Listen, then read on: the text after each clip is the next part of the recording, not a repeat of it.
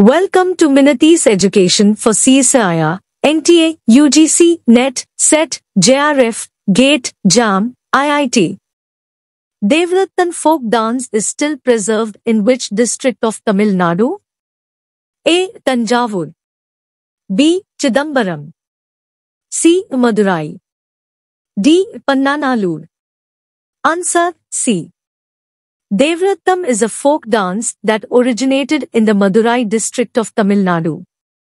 It is traditionally performed by the Kambala Naikar community, who are believed to be descendants of the warrior kings of Madurai.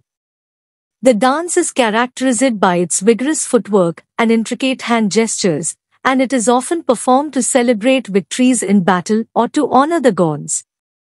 In recent years, Devarattam has become more popular among other communities in Tamil Nadu.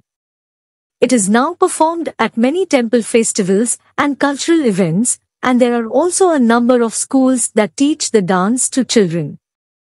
The dance is still considered to be sacred by the Kambala Naikar community, and it is only performed by members of that community. Thanks for watching. Visit again.